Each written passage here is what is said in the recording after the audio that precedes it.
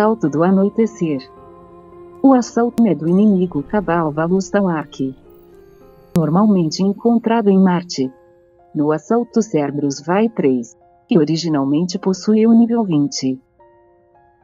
Este é um assalto que dá para se fazer solo. Mesmo se não tiver um nível de luz muito alto. Equilibrei os equipamentos do meu personagem no nível mínimo recomendado. Para que você veja algo que também pode fazer mesmo não tendo nível máximo. Lembre-se sempre de pegar munição suficiente com tratos da vanguarda antes de ir para um assalto, principalmente se for do anoitecer.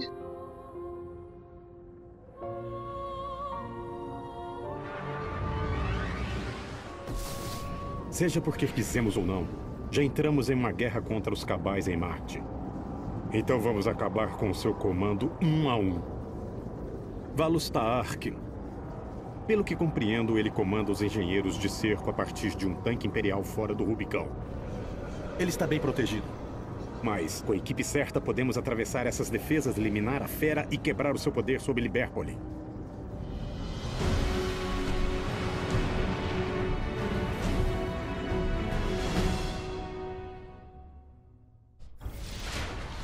Vamos encontrar o acesso ao sistema deles. Vejamos se podemos rastrear Valustar. Os modificadores da semana em que este vídeo foi gravado eram estes. Aumento de inimigos mais resistentes e agressivos. Aumento do dano de vácuo de ambos os lados. Inimigos mais corajosos em combate. Aumento do dano do ataque corpo a corpo dos guardiões aumento do dano causado quando o personagem não toca no chão. O importante é entender o que os modificadores alteram e se ajustar adequadamente, pois toda semana eles mudam. Vamos checar o equipamento. Selecionei a subclasse conforme os modificadores da semana e uma armadura de torso com bônus de defesa correspondente.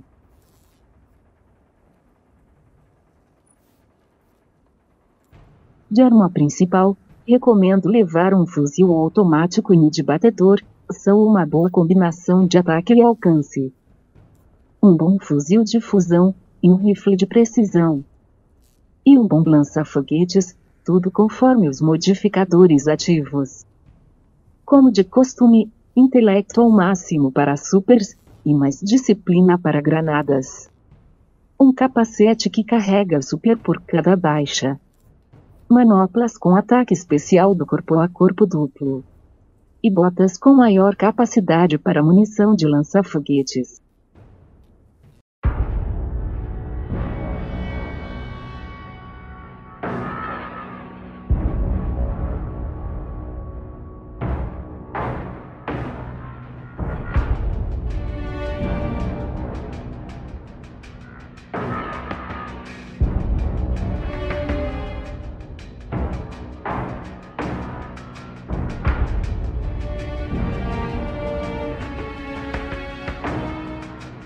Primeiro vamos acessar o terminal. Daí poderemos prosseguir para a primeira área.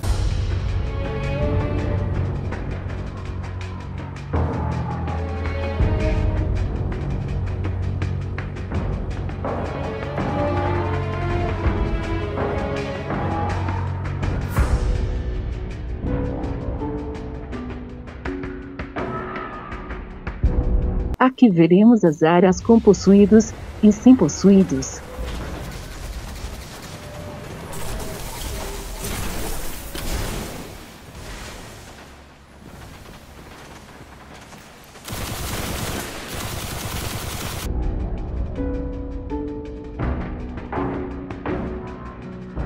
Cuidado com os possuídos do alto.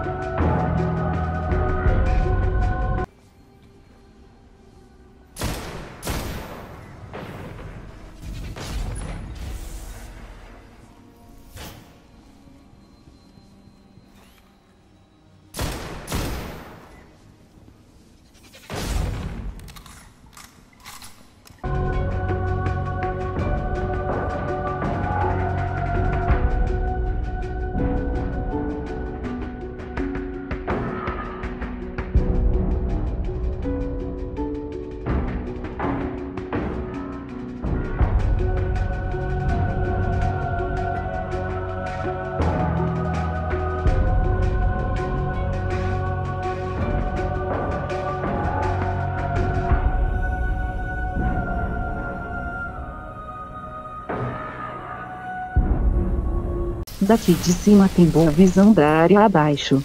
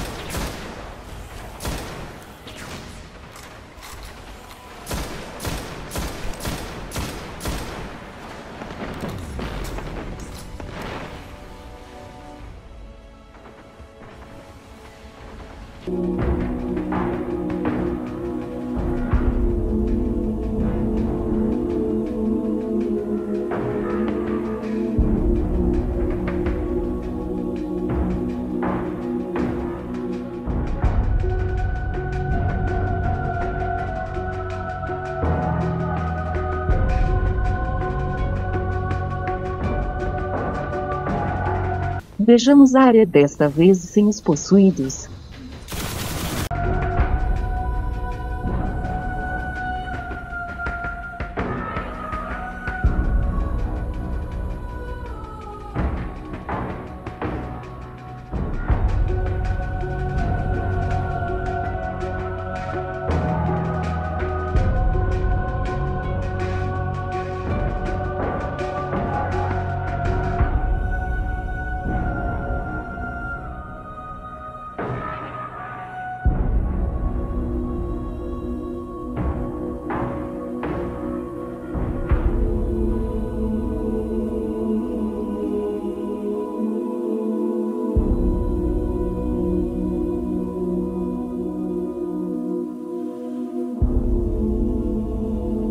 Próxima área é só ir com cautela.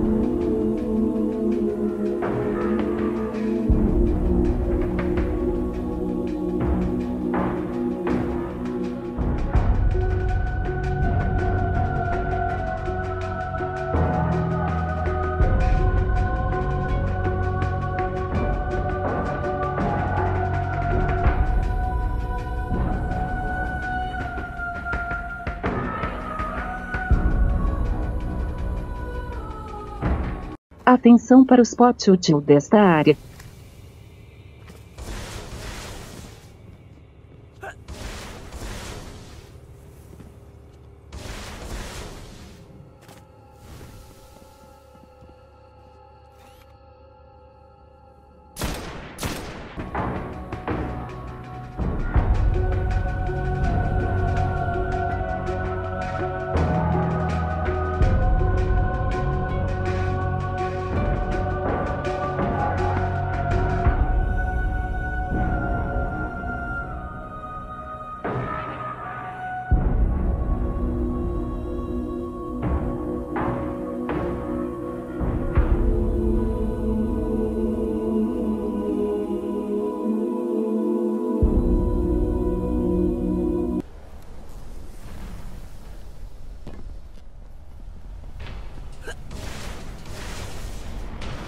Contra o chefe da área use este spot do alto.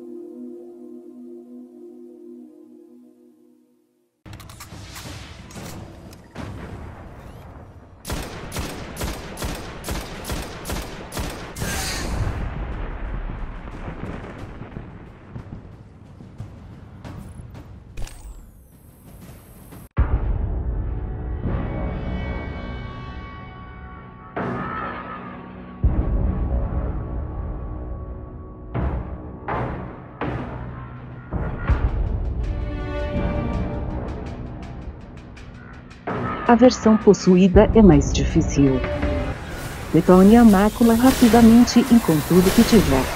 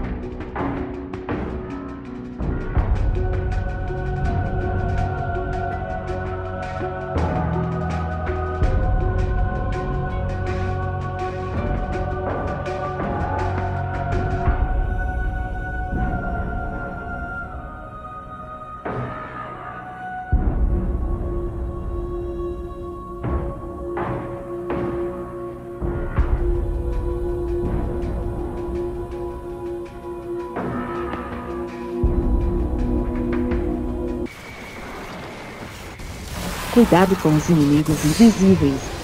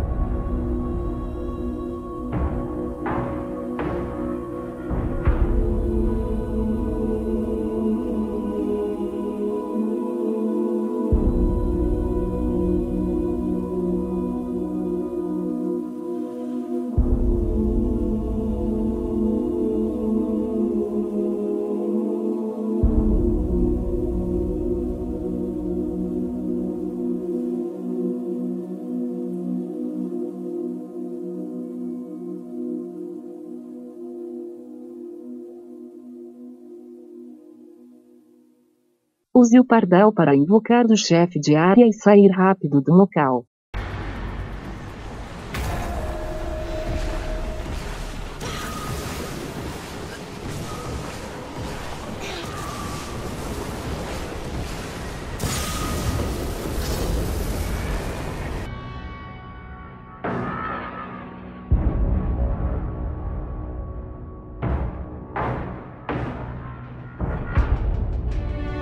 O chefe de área possuído não é muito forte.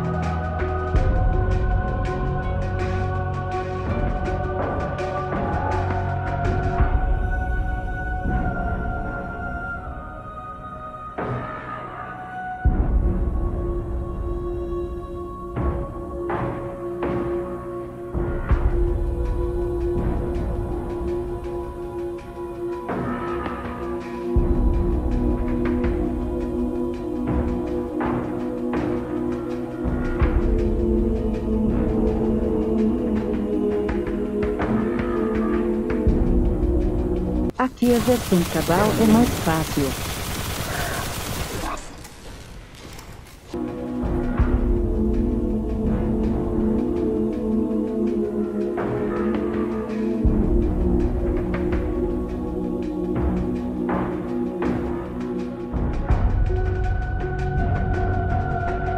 Mas na versão possuída tenha muita cautela.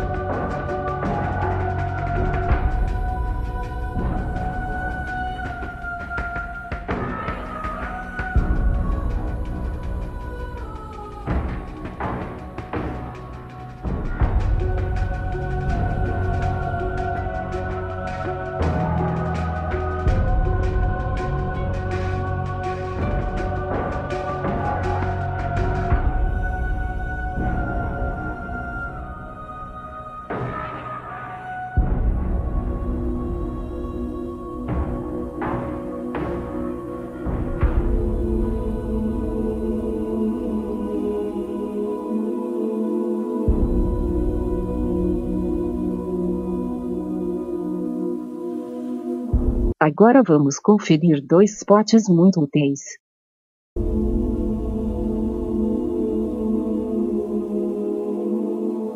O mais fácil está atrás destas caixas.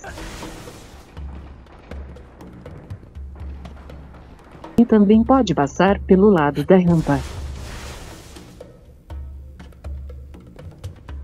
Boa visão e bem protegido.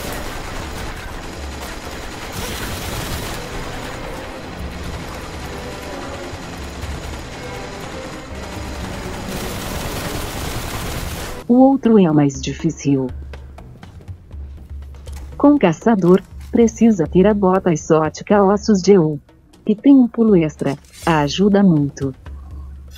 Use a espada para visualizar melhor o personagem nessa hora. Com titãs é fácil alcançar. Com arcanos é um pouco mais difícil, mas dá. Aqui em cima excelente visão e proteção.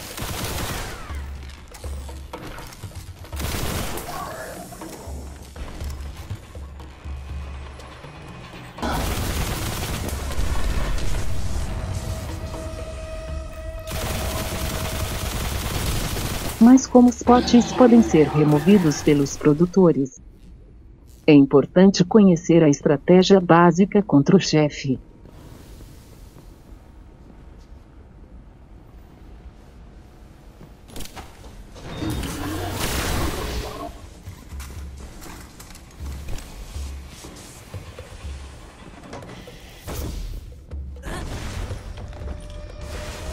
Se arco estiver de um lado da sala, fique do outro sempre atrás de alguma proteção.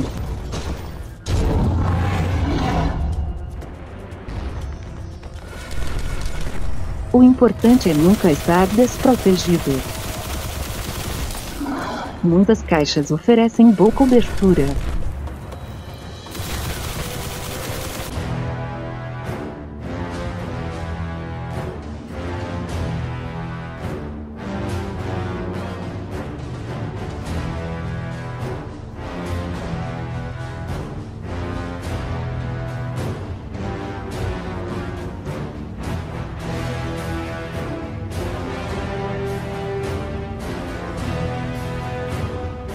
Muito cuidado quando reforços chegarem.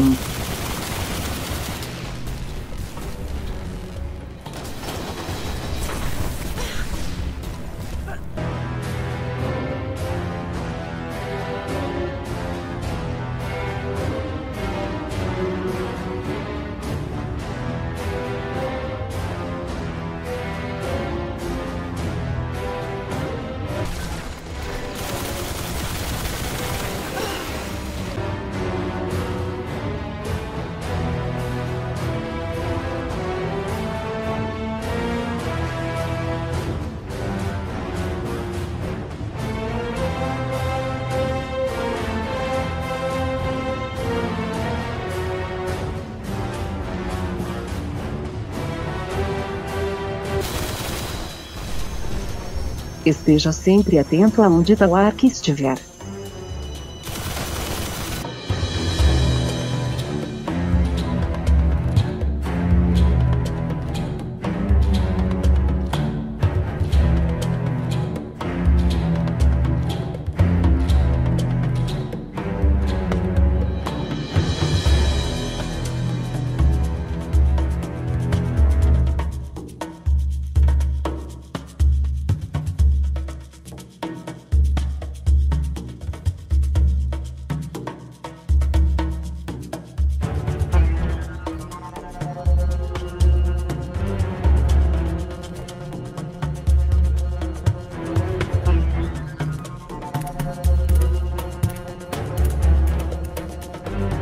Troca de lados.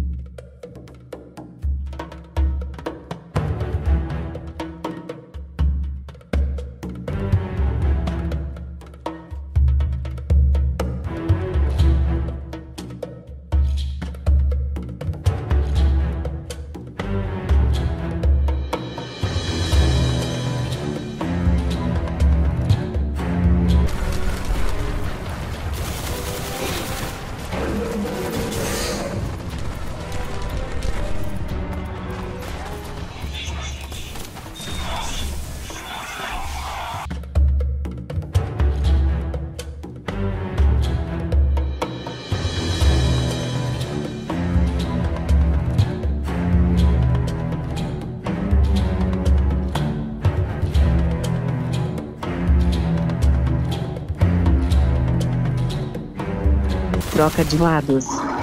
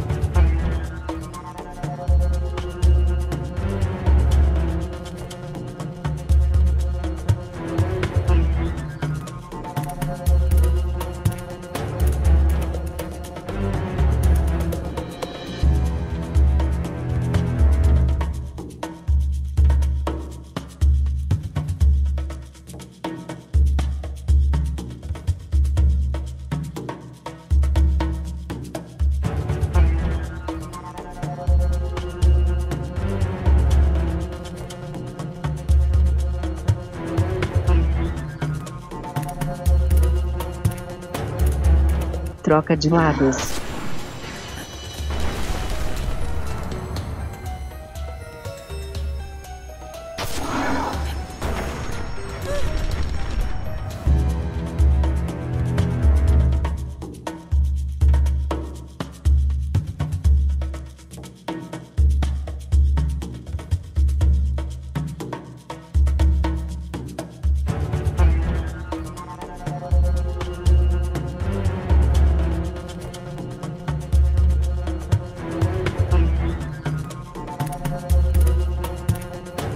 Sim, Tawaki pode andar pelos corredores.